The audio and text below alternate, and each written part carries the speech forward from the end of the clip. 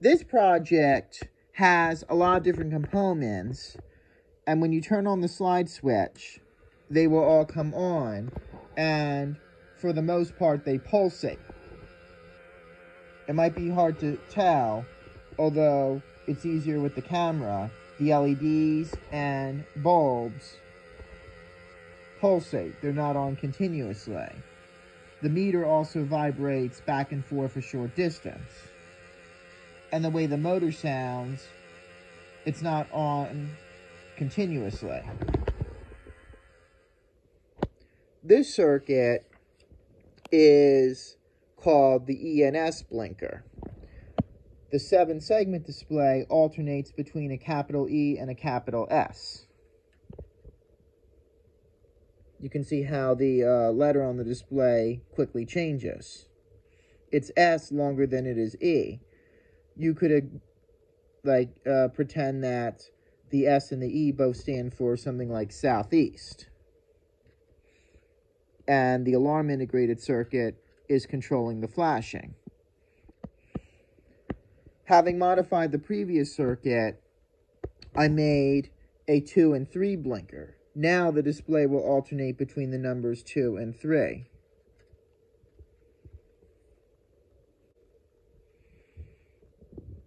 And you could pretend that stands for 23. This is the 9 and 0 blinker. When I turn on the slide switch, the 7 segment display alternates between the numbers 9 and 0.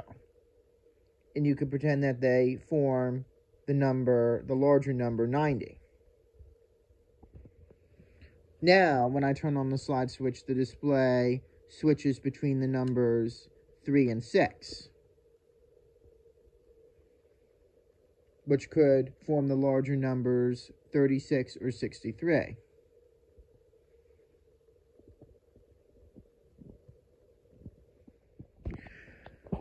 This is the C and C blinker.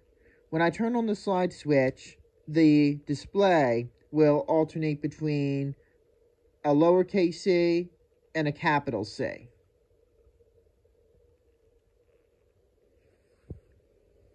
And I believe this is the first of the letter switching displays, if you know what I mean. In this circuit, the seven segment display alternates between a capital O and a lowercase o.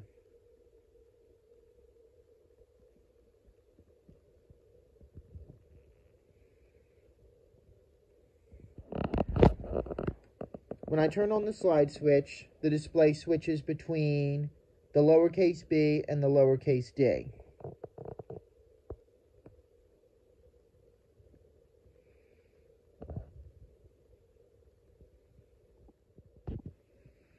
With this circuit, the display switches between the capital H and the capital L. And the H can stand for high and the L could stand for low, like high low. And a great example of this is on a weather map where blue capital H's represent high pressure systems, while red capital L's indicate low pressure systems. Finally, is the capital A and capital O blinker. When I turn on the slide switch, the display alternates between the capital A and the capital O. As you can see, in this circuit, the decimal point also lights due to the wiring of the circuit. This is an open and closed indicator.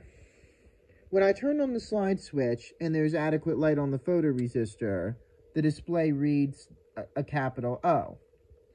But when light on the photoresistor falls below a certain point, the O changes to a capital C. The capital O can stand for open, while the capital C stands for closed. And the purpose of this circuit is to indicate whether a door is open or closed. For it to work, you should place the uh, circuit in a dark room in an area where uh, if you open the door to the room, light from outside can reach the photoresistor and change the uh, C to an O, indicating that the door is open. Then when you shut the door, the room goes dark again, and the O changes back to the letter C. I placed the circuit in this shoebox. Now light is shining directly on the photoresistor. Now when I as I shut the lid,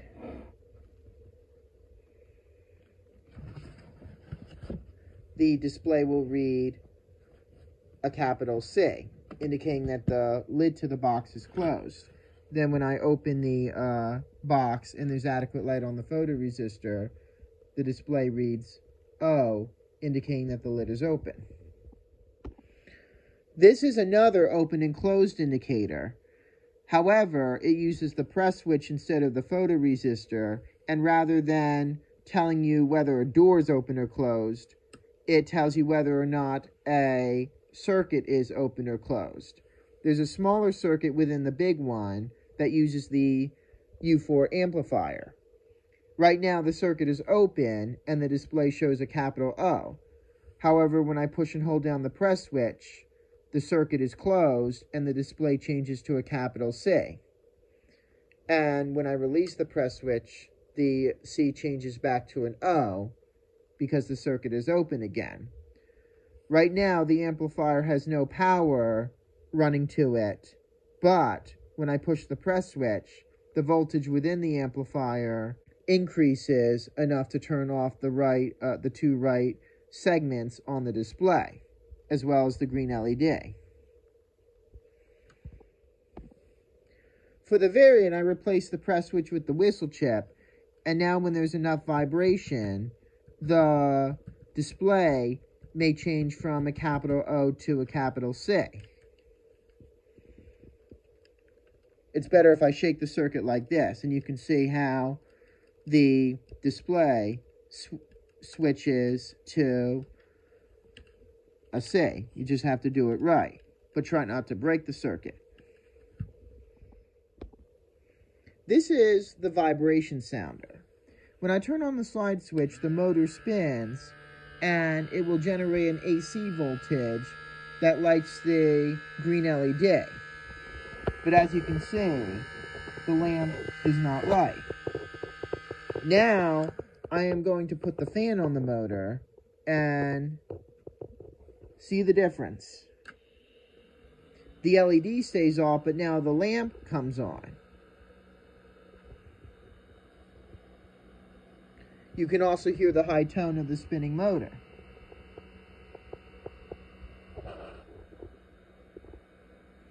To me, it kind of sounds like a jet engine from inside the plane. This is the SCR noise circuit.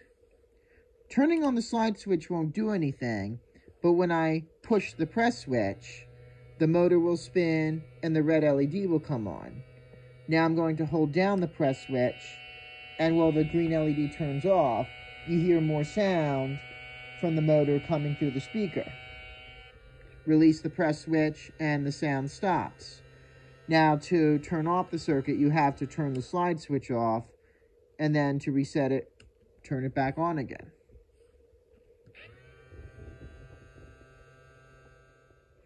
This is the SCR on transistor switch. When I turn on the slide switch, nothing happens. I'm going to push and hold down the press switch, and both lamps come on. However, when I release the press switch, only the L2 lamp remains lit. The L1 lamp goes off. If I want to turn the L1 lamp back on, I have to push and hold down the press switch, like before the S the Q3 diode is what allows the L2 lamp to remain lit even after I release the press switch. But to turn that off, I have to turn off the slide switch altogether. This is a two-speed motor. When I turn on the slide switch, nothing happens.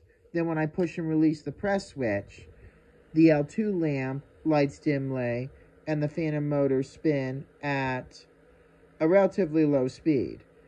But when I push and hold down the press switch, the fan and motor spin faster. That's why this is a two-speed fan, a two-speed motor. Releasing the press switch slows the fan and motor down. This is another two-speed motor, except in this project, pushing and holding down the press switch decreases the speed of the motor and fan rather than increase it. That's because, unlike the previous project, where the Q3 diode and Q2 transistor are wired in series, in this circuit they're wired in parallel. So, pushing the press switch will turn on the Q2 transistor, which lights the L1 lamp and increase decreases the voltage for the motor. When I turn on the slide switch, the motor spins clockwise and the meter on the low setting deflects all the way to the right. The low, the lower battery pack is currently connected. But when I turn off the slide switch and push and hold down the press switch, the motor spins counterclockwise and the meter deflects all the way to the left, the needle going below zero because the upper battery pack is connected. Finally, when both switches are on, the motor stops and the voltage meter drops to zero, but both lamps come on because the battery packs are both connected in series now. Then releasing it, the press switch will allow the motor to spin clockwise again. This is an AM radio with power LEDs. When I turn on the slide switch, first I'm going to put the adjustable resistor in the middle position. The red and green LEDs come on and they will flicker as I use the adjustable capacitor to tune the radio. Now, like other radios, this is a very crude one, so you may hear nothing more than static. But the purpose of this project is to include the red and green LEDs in the radio. And you can see them flickering.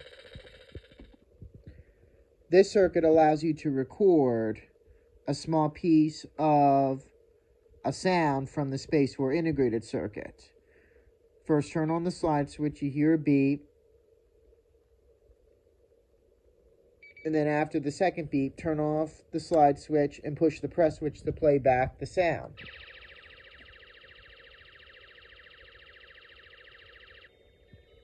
And then one of three Christmas songs built into the recording integrated circuit will play. Now for the second part of the project, remove this two-snap wire, turn on the slide switch again, and then turn it off after hearing the beeping sound. Push the press switch and you hear a different sound this time.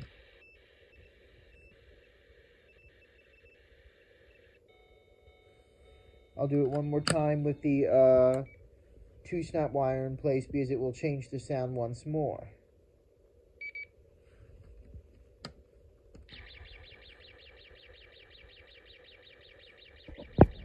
The sounds might remind you of those from a space theme video game.